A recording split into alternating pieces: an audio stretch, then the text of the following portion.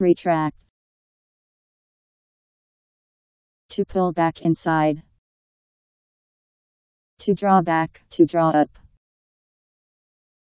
To take back or withdraw something one has said.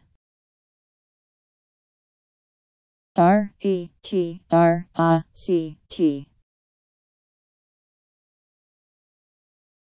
Retract.